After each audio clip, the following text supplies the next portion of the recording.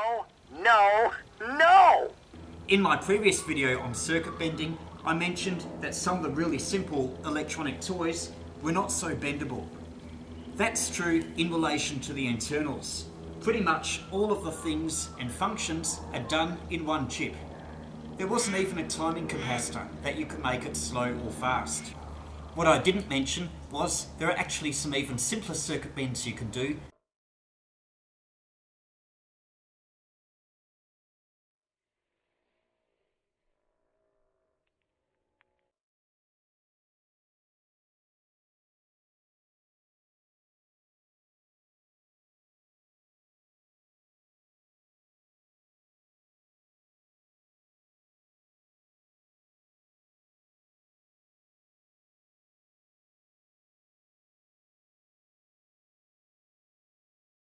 Along with the No button, we've got an assembly of components including resistors, diodes, LEDs and some other batteries. Looking closely at the battery holder, I find it sometimes difficult to get it to take solder, especially if you don't want it to melt the plastic. That's particularly the case with a positive connection. So here I haven't soldered it, I've just got a coil of wire and that's held against the contact with the battery I've still kept in. And for the negative connection, I did manage to solder it to the spring. No! No! No! That's how it normally is. We'll take a bit of a risk. We'll go from 3 volts to 9 volts. No! No! No! N O. Well, the pitch hasn't changed, but it's much louder. What if we try some reduced voltage? We can either use resistors or diodes. Resistors may produce a different effect because of their voltage drop. This is a 150 ohm resistor. We'll just use it in conjunction with a 9 volt battery. No! No! No! N O. And the volume is a bit less, but we need to add some more resistors because when you get below a certain voltage or you restrain the current, you may get some different effects, which is what we're looking for. This is a 330 ohm resistor.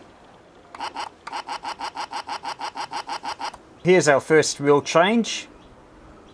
With the button pressed down, there's not quite enough current to articulate no, so we get this. Now what if we put another resistor across it?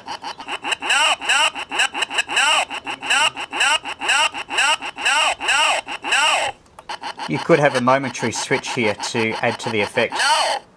Next thing is to put a flashing LED in series with the 9 volt battery. That's actually also in series with a 330 ohm resistor. The effect is different again. What I'll now try is remove the 330 ohm resistor because that was not quite enough for it to get to articulate no and we'll put in its place our 150 ohm resistor. The LED is a bit brighter but it's still not allowing the thing to say no. Maybe it's flashing too quickly.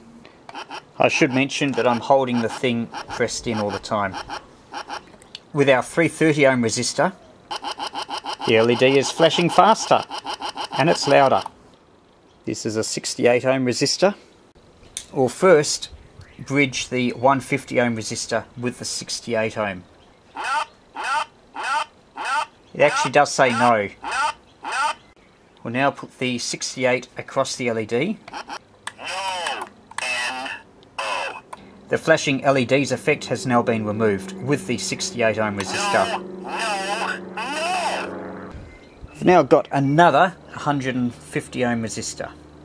You want to get values that give you intermediate results. What if we were to bridge the 150 completely so it's just the LED in series with the no button? No! No! No! The LED is shutting power off to the no button too quickly. We'll try connecting a capacitor that will give a bit of extra lag time and might change what you hear. No! No! No! This is 2200. No! No! Just connect the capacitor to the other side of the resistor. And the effect is different. Now we'll go back to our two AA batteries with 150 ohm in series.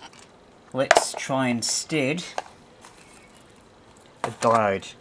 Two diodes and it's a similar effect to what we had with the excess of resistance. So the answer is not No! you can still circuit bend something without much electronics, like this no button.